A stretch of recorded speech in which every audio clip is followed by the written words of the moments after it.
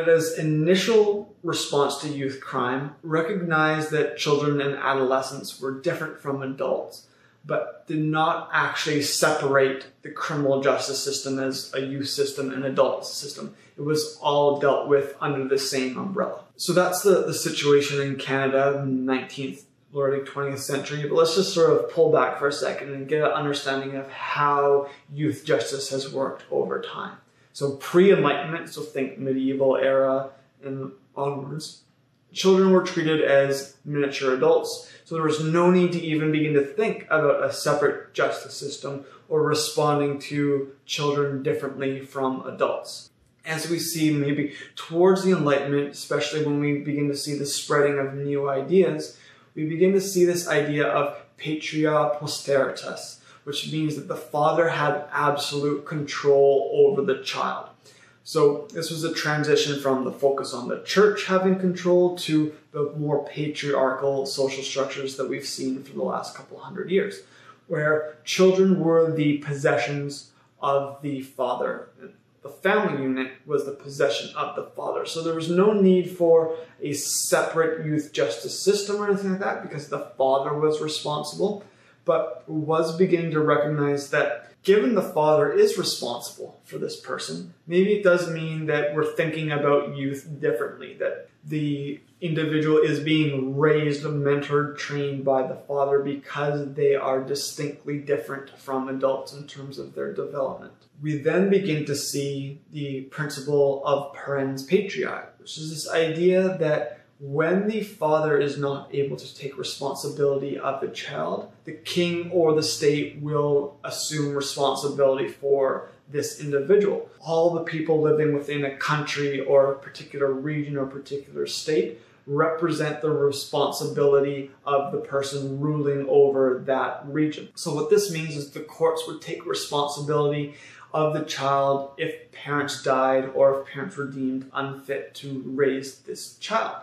So still there was no distinct youth justice system, but there was a recognition that courts were required or mandated under this principle of parens patriae to begin to look out for children, to try and identify what is in the best interests of the child, and then enact specific legislation or specific laws that will look over the child. So now we need to go back to Canada and look at Canada's perspective on crime.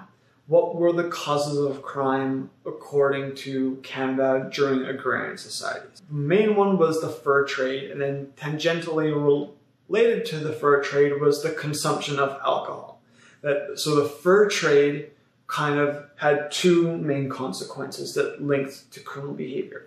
One was that kids were taking on these adult roles and engaging in adult behaviors like drinking, and that this was leading to their criminal behavior. The other was that now during the fur trade, these kids have too much freedom. They're off on their own. No longer do we see that apprenticeship, mentorship relationship when Canada shifted to an industrial society. The main causes of youth crime were viewed to be poverty, homelessness, and the lack of family. But keep in mind, these weren't used as the explanations for why kids were involved in crime. It was more like kids were involved in crime because they were immoral as a result of poverty, homelessness, and the lack of family. So the cause of crime is this immorality. But They were recognizing that if we improve their poverty, improve their homelessness, improve their lack of family, maybe that will teach them a sense of morals the Industrial Revolution was so important because it created youth crime, but it also created exposure to youth crime. So we saw substantial increases in youth crime during the Industrial Revolution in Canada and also the United States, where we see upticks in property offenses, especially as a result of needing to steal food, steal items to basically live. Sometimes we saw increases in violent crime as we saw ethnic-centric gangs uh, become more common. So with influxes in immigration, we didn't see necessarily this melting pot where everybody lived in the same areas, went to the same churches, and so on. Instead, we saw that there were Irish-based gangs or Polish-based gangs or Italian-based gangs, and they would settle in specific neighborhoods. So we saw this especially in the United States, where there's these ethnocentric neighborhoods as well. And this is what led to the creation of ethnocentric gangs. So what was Canada's response to youth crime? Basically, during the 1800s, Canadian Parliament passed laws to say that children under the age of seven were considered doli incapax, meaning that they were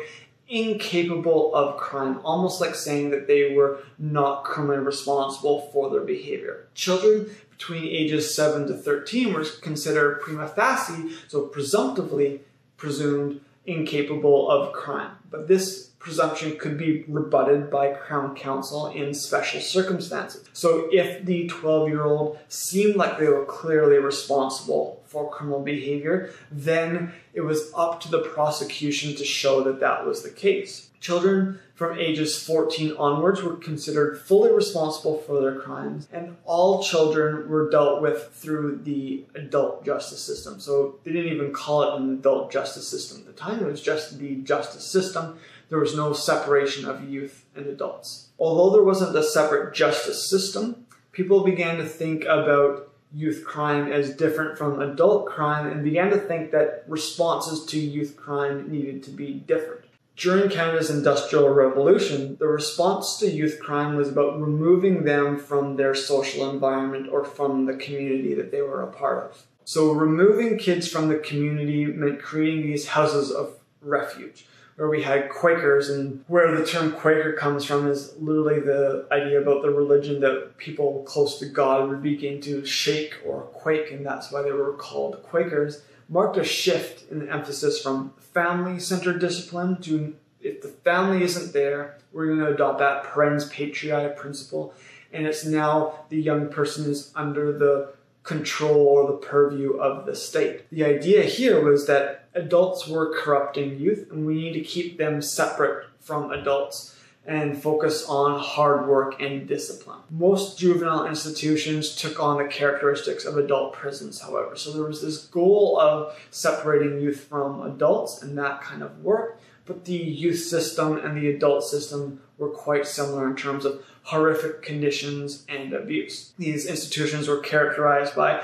underfunding, high rates of escape, chronic mismanagement, and a general lack of progress in the sense that they didn't actually seem to be helping youth whatsoever. From houses of refuge came reformatories in the mid 19th century, where the goal was to try and teach youth basic skills like how to read and write that would allow them to enter the job market upon their release. What some believed was happening though was that these reformatories became schools of crime, where it was an opportunity for orphaned youth to meet other like minded youth who would then, once released into the community, form a gang and continue to commit crime together. These reform schools often weren't targeting individuals because of their criminal or delinquent behavior, but actually because of their poverty. So it was really a good example of poverty being criminalized.